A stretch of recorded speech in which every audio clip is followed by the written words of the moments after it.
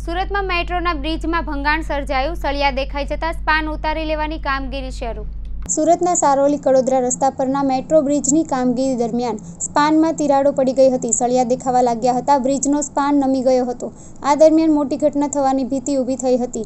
હાલમાં સારોલીથી કડોદરા તરફનો રસ્તો બંધ કરી દેવાયો છે. બેથી ત્રણ કિલોમીટરનો લાંબો ટ્રાફિક જામ થયો હતો, જેને લઈ આખું તંત્ર દોડતું થઈ ગયું હતું.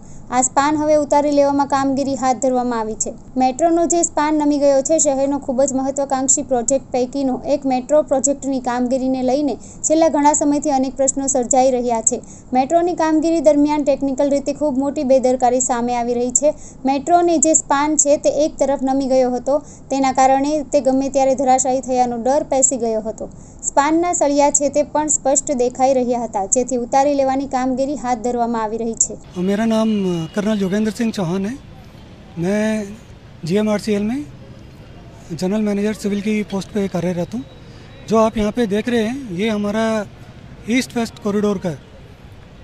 Pillar number pier number seven forty seven और सेवन फोर्टी एट के बीच में जो हमारा सेगमेंट है एक, वो आप यहाँ पे सामने देख सकते हैं।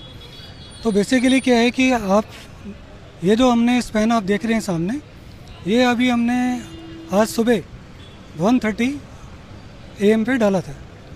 और जब हमारा जनरली प्रोटोकॉल रहता है प्रोटोकॉल के हिसाब से हम लोग सेगमेंट डालने के बाद में स्ट्रेसिंग के बाद कम से कम उसको 24 घंटे अंडर ऑब्जर्वेशन रखते हैं।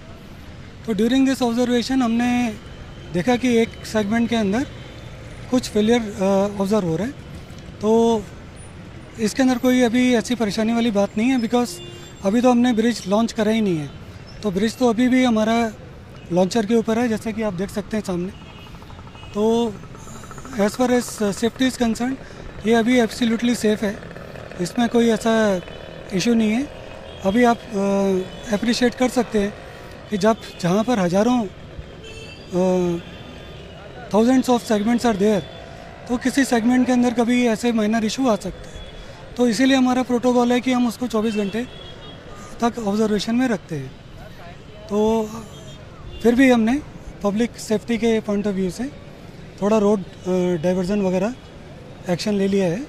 और हम इसको अपने प्रोटोकॉल के हिसाब से अभी इसको डी स्ट्रेस करके, इसका जो सेगमेंट है उसको चेंज करके करेंगे। अभी सेगमेंट क्यों परेशानी हो रही है या क्या इसका रीज़न है? इसके मल्टीपल रीज़न हो सकते हैं, ये तो हम अभी इसके इन्वेस्टिगेशन के बाद ही हम लोग बता सकते हैं। तो डैमेज नहीं है। ब्रिज तो अभी हमने लॉन्च भी नहीं करा है इस पेन ये तो अभी भी हमारा लॉन्चर के ऊपर ही है। तो ये सिचुएशन आती है नॉर्मली कंस्ट्रक्शन के टाइम इसीलिए ये एक प्रोटोकॉल है इसमें कि आपको लॉन्च करने से पहले उसको 24 घंटे ऑब्जर्वेशन में रखना है। तो ये अभी ऑब्जर्वेशन में ही है। तो इसको अभी हम रिपेयर कर देंगे। इसमें कोई ऐसा सीरियस इशू नहीं है। ये एक कंस्ट्रक्शन रिलेटेड एस्पेक्ट है। कई बार ऐसा हो जाता है।